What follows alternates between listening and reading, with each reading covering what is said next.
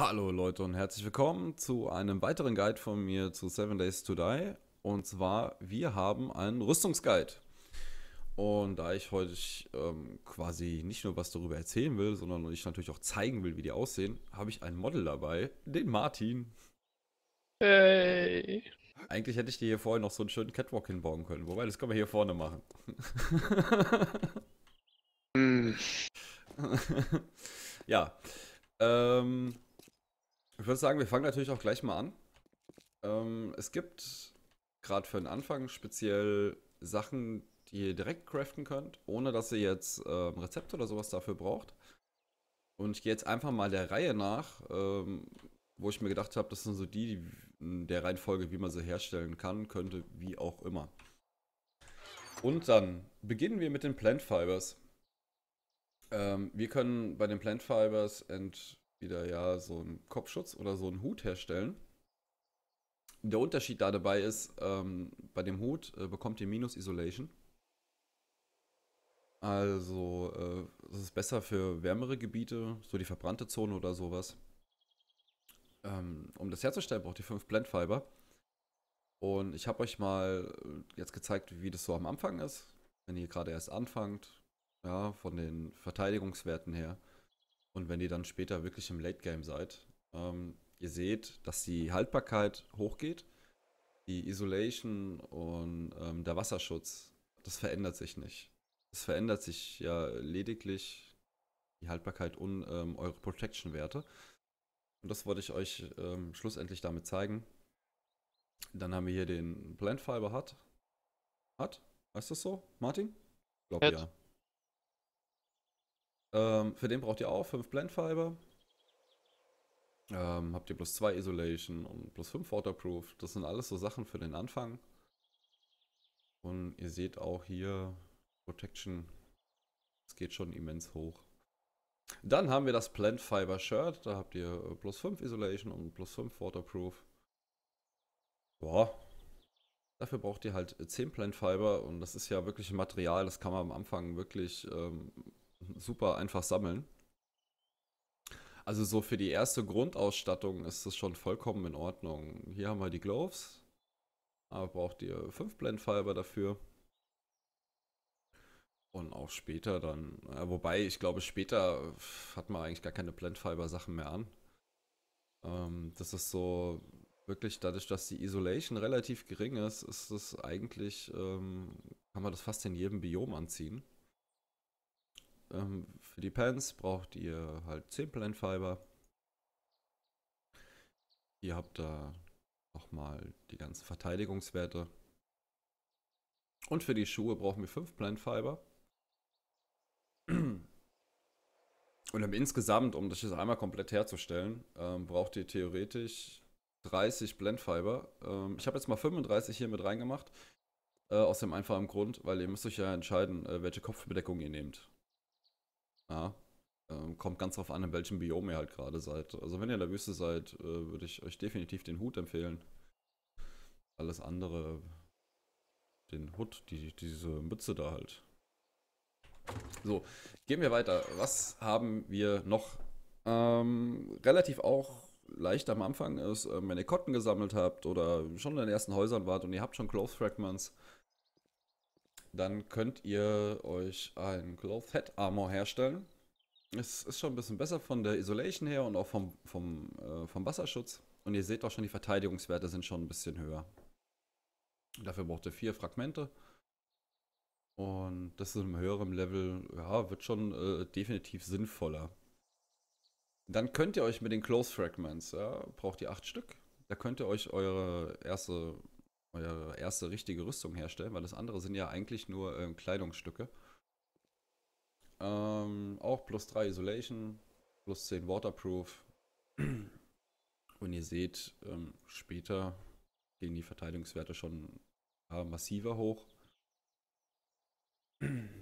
Dann haben wir die Handschuhe. Äh, braucht ihr lediglich zwei Close Fragments dafür und drei Isolation, 10 Waterproof. Und auch hier gehen die Verteidigungswerte schön hoch. Ich glaube, das muss ich auch nicht bei jedem Stück erwähnen. Das sollte mittlerweile klar sein. Ähm, dann haben wir hier den ersten Schutz für die Beine, den man herstellen kann. Die hat äh, 3 Isolation und 10 Waterproof. Ist eigentlich auch ähm, sowas, was man eigentlich so in jedem Biom auf jeden Fall schon mal anziehen könnte. Dafür braucht ihr halt äh, 12 Close Fragments. Und dann haben wir noch die Schuhe. Äh, auch Isolation plus 3, Waterproof 10%. Und ihr braucht lediglich äh, Close Fragments. Um euch das insgesamt herzustellen, habt ihr lediglich 24 Close Fragments, was jetzt auch für den Anfang nicht allzu viel ist.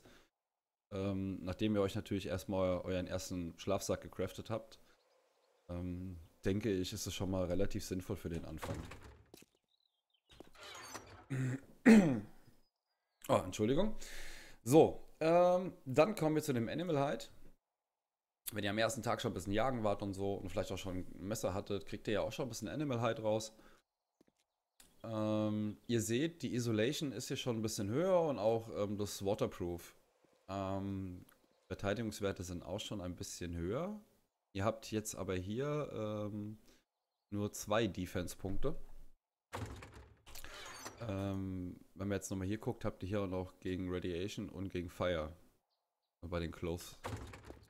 Und ich glaube, bei den Plantfibern war das genauso, genau. Ähm, das fällt bei dem Animal Hide halt leider weg. Dafür sind die anderen Verteidigungswerte aber vom Grund auf schon wesentlich höher. Ähm, ist sehr geeignet ähm, für das Schneebiom. Durch die hohe Isolation und halt durch den relativ hohen Waterproof-Wert. Ähm, weil durch den Schnee ähm, ihr doch relativ schnell nass werdet. Und ihr seht, für den Kopf braucht ihr 5 Animal Hide. Für die Jacke braucht ihr 10. Für die Handschuhe haben wir auch 7 Isolation und 15 Waterproof. Braucht ihr lediglich 5 Animal Hide. Muss man halt immer feststellen oder sage ich mal äh, gucken, was man halt am Anfang so hat an Materialien. Denkt dran, ihr braucht das Animal Hide auch für eine Forge. Also äh, verballert nicht alles. Äh, dann haben wir hier so eine wunderschöne Panties. Und dann haben wir da lediglich 10 Animal halt dafür. Und hier seht ihr mal die Verteidigungswerte einfach nochmal in höherem. Ähm, ich denke, äh, dass ihr hier das Light Armor, das Leatherworking, ich meine, ihr seht es ja bei jedem Kleidungsstück, ähm, was ihr für was braucht also für das Animal Hide oder für das Cloth, ähm, dürfte relativ klar sein, dass wenn ihr das anklickt, was ihr dafür skillen müsst. Ähm, dann kommen wir noch zu den Schuhen. Wir haben auch 7 Isolation und 15 Waterproof. Komischerweise sind das die einzigsten, die auch Fire Defense und gegen Verstrahlung Schutz haben. Warum auch immer. Das kann ich euch nicht sagen. Braucht ihr auch lediglich 5 Animal Hide und ihr seht auch hier, die, die Werte sind schon relativ hoch bei Animal Hide. Und um euch das einmal komplett herzustellen, braucht ihr 35 Animal Hide. So, und jetzt möchte ich unseren Martin doch mal bitten, für die ersten drei Sachen äh, sich mal kurz umzuziehen. Ich würde mal sagen, wir fangen mit den Blendfibers an. Drehe mich auch weg. Oh, das aber nett. Ja, ich will ja kein Nacke da hier sehen. Ah. du fertig? Ja. So. Ähm, da habt ihr quasi äh, das Blendfiber. So sieht es ähm, halt am Anfang aus. Also was heißt am Anfang? Also das verändert sich ja nicht, aber ähm, kannst du dich mal auch mal so rumdrehen, weil das ist sehr dunkel, wenn du einfach nur gegen die Sonne stehst. Dass ich mir das auch mal von hinten angucken kann. oh, sexy ass. ja, darfst dich umziehen, bitte. Ähm, und zwar für die Clothes-Teile. Einem schönen Cowboy-Hut. Ja, das sieht traumhaft aus. Ich drehe mich wieder um. Nicht, dass du dich äh, genierst. Derzeit können wir uns äh, wunderschön das Biom hier anschauen. Mit dem Reh. Schön. Schöner, ruhiger Platz hier.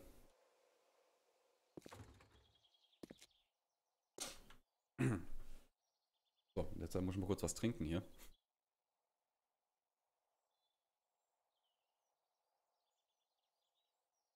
Also ich habe jetzt Close an und Plant Fiber, diese zwei Sachen, die du beim Okay. Close nicht hast, äh, ausgezogen, ne? Hm, Ja, ist in Ordnung. So, ähm, da seht ihr wunderbar unsere Close-Sachen und du hast jetzt was, die. Was hast du jetzt von den Ja, jetzt Fiber kein noch an?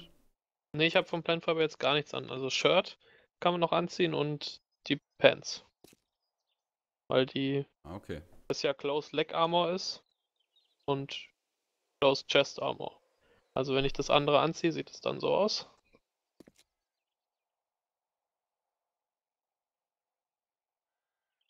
Wunderbar. Ja, ähm, und dann zeigt uns auch nochmal das wunderschöne Animal Hide, weil die Hose sieht immer highlightmäßig aus, finde ich. Ich drehe mich wieder weg. Will ja hier kein Nackedei sehen. Guck mal da unten. Oh, ein Hühnchen.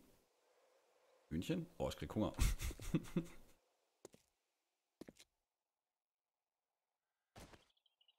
Jetzt wird's ja interessant.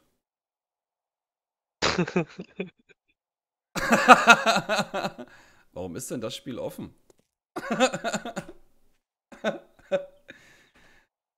ja. Ähm, ist jetzt ein bisschen doof. Alles live. ja, äh, das ist live. Ähm, wie kann man dann überhaupt schreiben? Äh. ah ja, komm. Lass mal da mal rumstehen. Der kommt ja nicht an die Kisten dran. So, sind wir mal nett.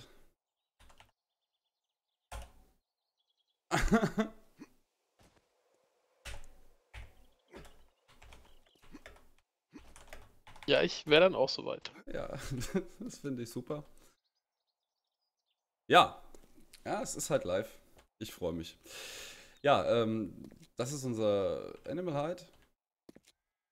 Ähm, das ist halt hauptsächlich für unser Winterbiom oder für unser Schneebiom gedacht. Vom Grund auf gesehen. Wunderbar.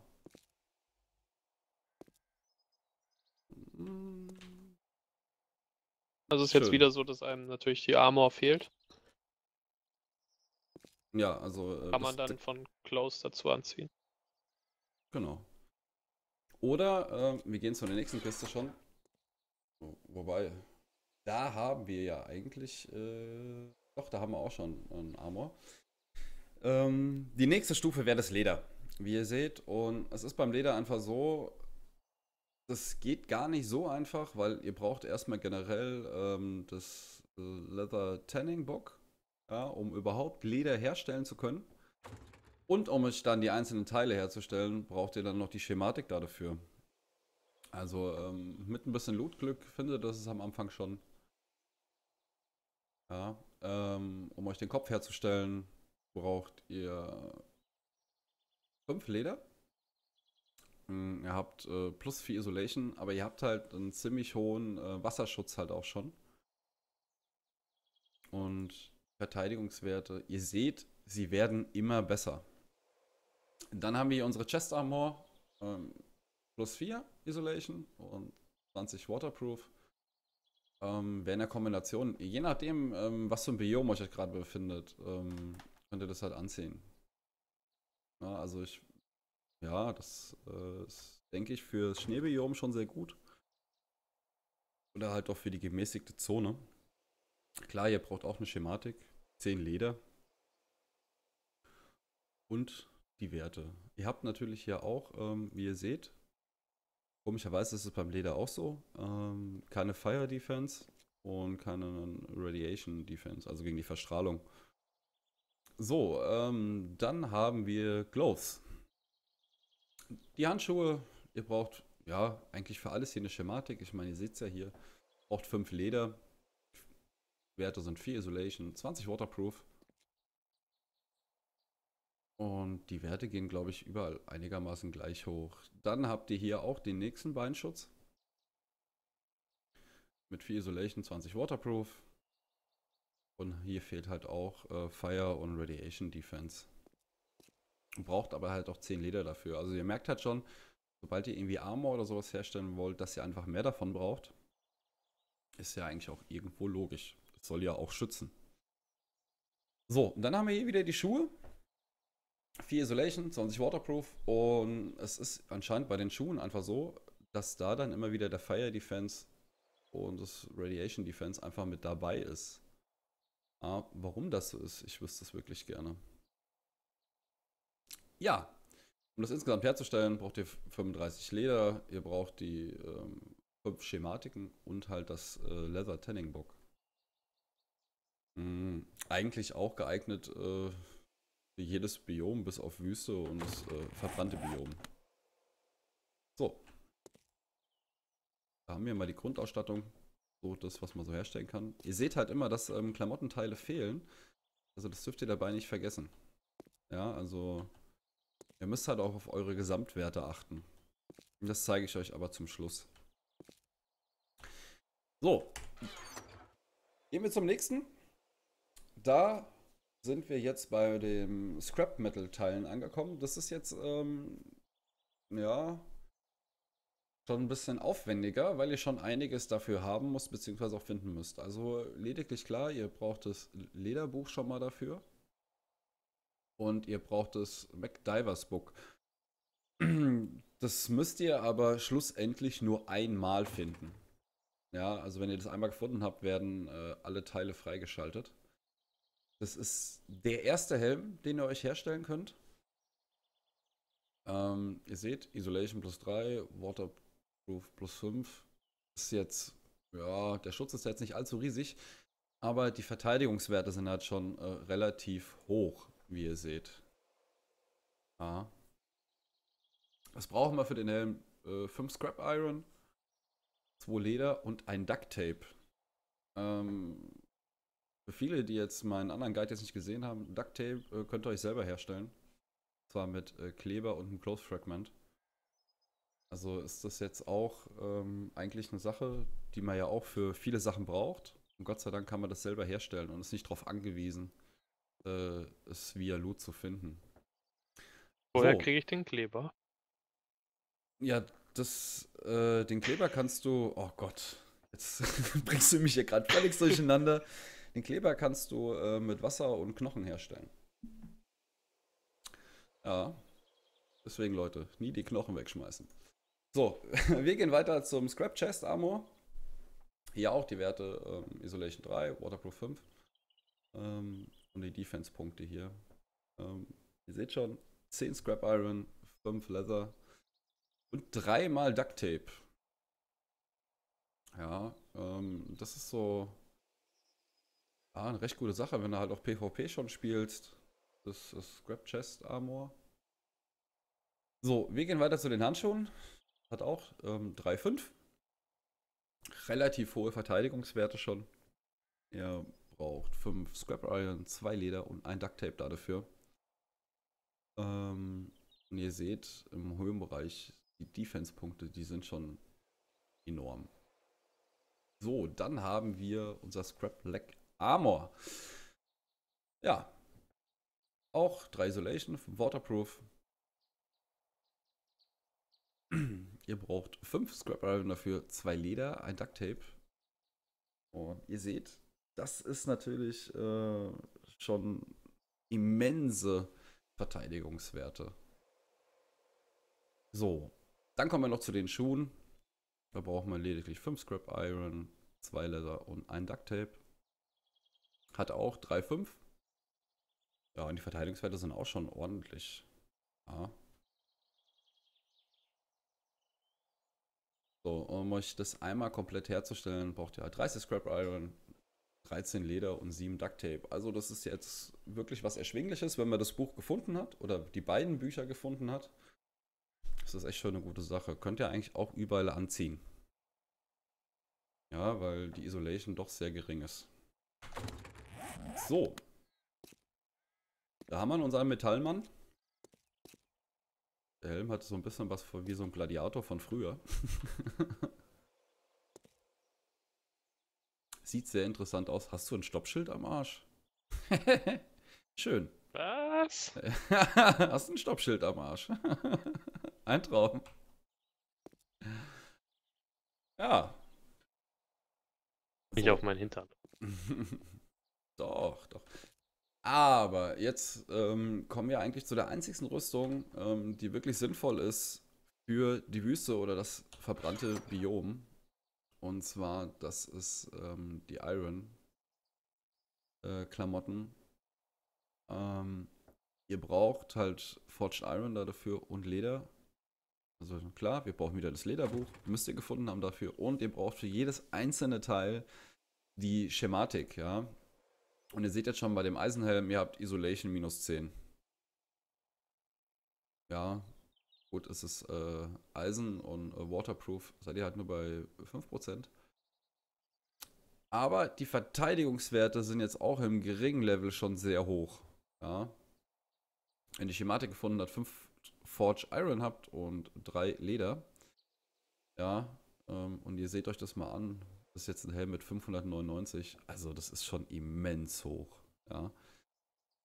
Würde ich euch jetzt aber komplett nicht empfehlen, wenn ihr ähm, im Schneebiom seid. Also, es könnt ihr natürlich auch machen, ja. Aber ähm, da müsst ihr natürlich sehr mit Campfires arbeiten oder äh, mit Kaffee oder so, was euch halt permanent also richtig gut aufwärmt. So. Dann kommen wir hier zu Chest Armor. Ihr habt auch minus 10 Isolation und plus 5 Waterproof. Und hier die Werte sind auch schon sehr hoch. Ja, für 10 Forged Iron und 3 Leder.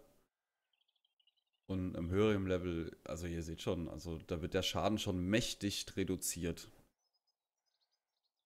So, dann haben wir unsere Handschuhe. Die haben nur äh, minus 5 Isolation und ähm, 5 Waterproof. Ja, für 5 äh, Forged Iron und 3 Leder ist es schon ordentlich. Und auch der Schutz, wie ihr seht. So, dann haben wir unseren Beinschutz, unseren Beinarmor, auch minus 5 Isolation und plus 5 Waterproof. Ähm, ja, das bewegt sich so am Anfang ziemlich gleich mit den Defense-Punkten hier. Hm, Wir brauchen halt 5 Forged Iron und 3 Leder dafür. Ich komme immer nicht drüber hinweg, dass da eben gerade einer reingekommen ist. ah, schön. Ja, und ihr seht auch die Verteidigungswerte. Einfach immens. Und jetzt kommen wir einfach noch ähm, zu den Eisenschuhen. Äh, Besonderheit hier ist, dass ihr auch bei den Eisenschuhen ähm, kein Fire und Radiation Defense habt. Ja, was jetzt bei den anderen Sets, sage ich mal, der Fall war. Ähm, auch minus 5 Iso Isolation. Oh Gott. Plus 5 Waterproof. Man braucht lediglich 5 Forged Iron und 3 Leder dafür. Und auch hier, also die Verteidigungswerte, das ist eigentlich ziemlich egal, was ihr hiervon habt. Äh, wenn die auf demselben Level sind, sind die irgendwie gleich. Ja. Ja, um das insgesamt einmal herzustellen, braucht ihr 30 Forged Iron und 15 Leder. Ah, ist wirklich nicht viel. Aber es bringt sehr viel, auch schon in den geringeren Levels. Also. So, wo ist denn hier mein Model? Komm her und da zeig's. ist ein Bär. Ja, lass den Bär Bär sein. So, warte mal, ich muss mich hier mal rumdrehen, dass man das sieht. Ja. Ihr seht schon, ich kann ihm zwar jetzt keinen Schaden zufügen, aber das ist schon äh, sehr immens, was da jetzt an Schaden geblockt wird, ja. Also auch für, fürs PvP super geeignet, wenn man es gefunden hat. So, und jetzt komme ich schlussendlich noch ähm, zu den Sachen, die man jetzt nicht herstellen kann. Ähm, ich habe das mal so ein bisschen schon vorsortiert. ähm, das sind alles nur Loot-Gegenstände. Die einzigste Ausnahme da davon ist hier das Bandana, aber das könnt ihr euch selber herstellen. Mit zwei Glows Fragments. Ähm, hat minus 5 Isolation und 10 Waterproof. Ähm, ihr müsst halt gucken mit den Verteidigungswerten. Ähm, ich wollte das jetzt nicht alles nochmal einzeln raussuchen. Ähm ich muss kurz was trinken, es tut mir leid.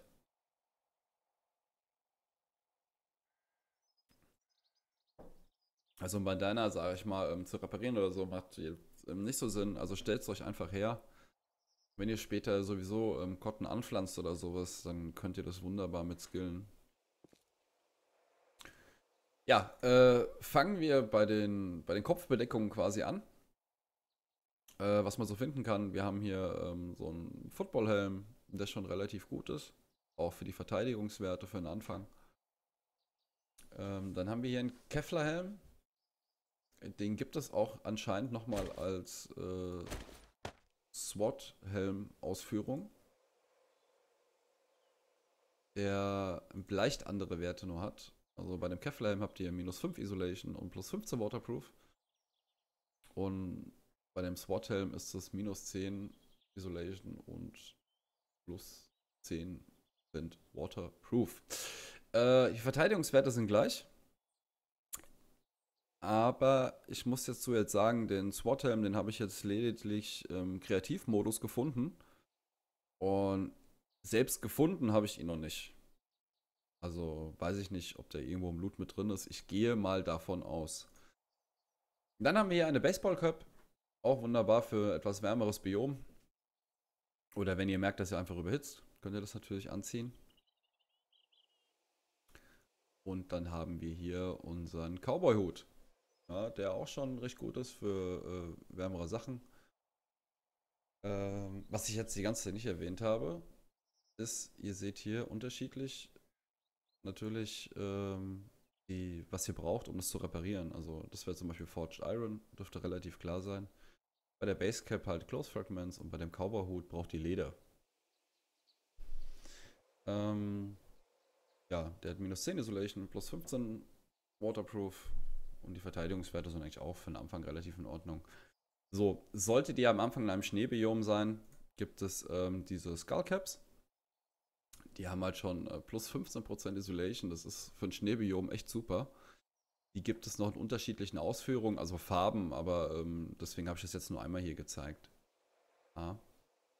Was auch super ist, wenn ihr ähm, quasi Minen geht und ihr habt einen Mining-Helm gefunden, ja, würde ich ihn anziehen, weil ihr könnt, wenn ihr ihn, äh, ich kann euch das ja gerade mal zeigen, wenn ihr den anzieht, könnt ihr auf F drücken und dann bekommt ihr halt so ein wunderschönes Licht. Ah Gott, ein Nackter. Ja, so sieht er aus. Äh, komischerweise sieht man nicht, ob das Licht an ist oder nicht. Also beziehungsweise man sieht es schon. Martin, lass es mal an, bitte. Und dreh dich mal zu mir. Ja, genau so. Dreh dich mal ein Stück nach rechts. Also, dass du so seitlich zu mir stehst. So, ähm, bleib mal stehen. Und ihr seht jetzt hier diesen Punkt. Also, der ist jetzt ähm, irgendwie total falsch platziert. Der müsste eigentlich oben direkt in den Helm kommen. Genau. Trigger mal ein bisschen, Martin, da sieht man das wunderbar.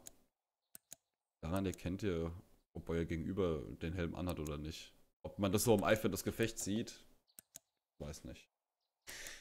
Ja, kommen wir weiter zu den Brillen. Ähm, die Brillen sind super ähm, gegen Hitze. Ähm, dass sie jetzt äh, großartig keine Verteidigungswerte haben, dürfte wohl relativ klar sein. Ähm, dabei muss man jetzt bedenken, dass ihr diese Brillen, die könntet ihr jetzt zum Beispiel in Kombination mit dem Cowboyhut anziehen, aber jetzt zum Beispiel nicht mit dem Footballhelm. Da müsst ihr jetzt einfach schauen, ähm, wenn, ihr, wenn ihr was anzieht, äh, was ihr dann noch alles äh, benutzen könnt. Dann haben wir die Aviator Glubscher da. ähm, die haben schon ja, es geht von den Verteidigungswerten, aber die sind einfach nur für die Verteidigungswerte da. Also die bringen euch nichts irgendwie ähm, gegen Hitze oder gegen Kälte. Dasselbe ist auch bei den normalen hier. So, dann haben wir noch die Night Vision. Muss es euch zeigen. ja, ähm, hoppla. Bei der Night Vision ist das äh, Problem, dass die einfach immer noch buggy ist. Ähm, könnte man hier in Kombination mit dem Mining Helm anziehen. Oder mit einem Cowboy-Hut oder so. Aber jetzt einen Football-Helm könntet ihr nicht anziehen. Ähm, da seht ihr es bei Martin. Aber das Problem ist, ich zeige es euch jetzt einfach mal. Ähm, jetzt muss ich kurz überlegen, oh Gott, wie machen wir den nochmal an? F. Auch mit F. Ah, wunderbar. Da haben wir unseren wunderschönen Matrix-Effekt hier. Wie ihr seht. Also die sind leider noch verbuggt. Ich hoffe, dass sie irgendwann mal wieder funktionieren. Aber mal schöner, jetzt sehe ich nur noch Streifen. Aber dafür ist es richtig rum. Ja. Also in der früheren Version stand dann alles auf dem Kopf, aber du hast wenigstens die Umgebung gesehen. ja. Also sehr schade, dass das halt noch buggy ist. Weil wenn man hier nachts unterwegs ist, oder man könnte auch so super meinen gehen mit den Dingern. Aber zurzeit leider nicht nutzbar. So, das Bandana habe ich euch ja vorhin schon gezeigt. Ähm, gehen wir weiter zu den Jacken. Also es gibt ähm, drei unterschiedliche Jackenausführungen. Wir haben einfach diese Denim Jacket, ja, mit plus 10 Isolation und plus 10 Waterproof. Ähm, ja, ist jetzt eigentlich auch so für fast jedes Biom geeignet, bis auf halt die warmen, also die verbrannte Zone oder ähm, die Wüste. Ähm, Wenn es dann doch ein bisschen kälter wird, muss man dann schon zu einem Leather Duster greifen, weil der schon plus 20 Isolation hat. Verteidigungswerte sind halt relativ niedrig. So, ähm, solltet ihr euch im Schneebiom was gebaut haben oder sowas, kann ich euch nur den äh, Puffercoat empfehlen, weil er halt einfach plus 30 Isolation hat und 50% äh, Wasserschutz. Ja, das ist schon einiges und das macht sich bemerkbar, wenn man den anhat. Ja. Dann kommen wir zu einem Tanktop. Die gibt es auch in verschiedensten Farben. Hat nur plus 2 Isolation und äh, plus 10 Waterproof. Also ist eigentlich auch für jedes Biom geeignet. Ähm, das Problem ist eigentlich, alles was Plus bringt, könnt ihr in der Wüste eigentlich nicht anziehen. Also ihr könnt zwar schon, aber ihr, hützt, ihr überhitzt so dermaßen schnell, ähm, dass es eigentlich halt fast keinen Sinn macht. Dann haben wir auch hier noch ein Shirt, das hat plus 10 Isolation und plus 10 Waterproof. Ähm, ja, wie gesagt, das ist jetzt auch schon was, würde ich jetzt eher nur im Schneebiom empfehlen oder halt ein, ein Waldbiom oder sowas, ja. Ähm, müsste halt gucken. So, dann haben wir noch die Hosen, die haben plus 5 Isolation und plus 10 Waterproof. Ja, wie gesagt, von den Biomen her. Und dann haben wir hier noch die One Boots. Na, mit plus 10 Isolation und plus 10 Waterproof. In den einzelnen Kombinationen müsst ihr dann ähm, schlussendlich gucken. Ähm, und zwar hier bei eurem Charakter. Ähm, hier seht ihr die verschiedenen Verteidigungswerte. Hier seht ihr die Temperaturanzeige, ähm, wie viel Schutz ihr gegen Feuchtigkeit habt. Was die Kilogrammanzeige bringt, ich weiß es immer noch nicht. Ich habe keine Ahnung. Ich kann es euch leider nicht erklären. Ja, ähm, um jetzt euch einfach nur mal kurz das zu zeigen, wenn ihr jetzt äh, mal komplett das Iron anhabt. Von den Werten her. Da habt ihr minus 35 Grad Fahrenheit. Also das ist schon super. Ähm, dann könntet ihr jetzt natürlich noch ähm, Brille anziehen, Bandana anziehen. So. Und. Oh ne, die Brille geht ja gar nicht, weil es ist ja ein Eisenhelm. Haha. Und das Bandana auch nicht. Das war jetzt wieder der Vorführeffekt. Ich habe es vorhin selber erzählt und denke jetzt selber nicht dran. Ja, ähm, also wie gesagt, für die Wüste optimal und auch ihr, ihr seht, ähm, wie Obwohl gesagt. man da sagen muss, der Iron Helm bringt minus 10. Wenn du alles andere anziehst, hast du also Cowboy-Hut oder Cappy, Brille und Bandanas hast du im besten Fall minus 20. Ähm, genau. Gut, dass du es erwähnt hast. Ich hätte es wieder vergessen, das noch zu sagen. Ihr seht hier minus 10, minus 5 und minus 5. Ähm, so kommt ihr auf minus 45 Grad Fahrenheit. Ähm, habt natürlich aber auch keine Hosen, kein Shirt und ähm, ja, jetzt sage ich mal keine Jacke an. Mehr geht nicht. Geringer kommt ihr nicht von der Gradzahl her. Also wirklich super für die Wüste geeignet. Wenn ihr das jetzt natürlich ähm, ja, in einem Schneebiom anzieht, der friert ihr euch ganz schön schnell einen ab. So. Damit war ich jetzt eigentlich auch schon bei meinem Guide. Ich finde es schön, dass wir einen wunderschönen Gast hatten. Ja. Bei Martin, unser alter Cowboy. ja, also ich hoffe, ich konnte euch zumindest. Ey. Ruhig hier, ne?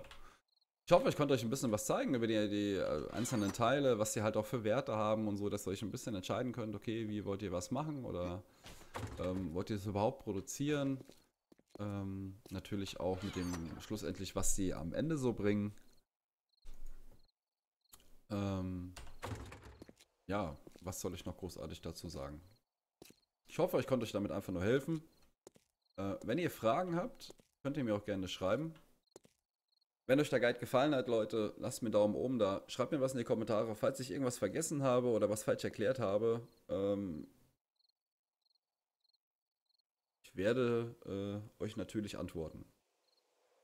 In diesem Sinne möchte ich mich nochmal bei Martin bedanken, dass er mal kurz äh, quasi mein Victoria's Secret Model gespielt hat.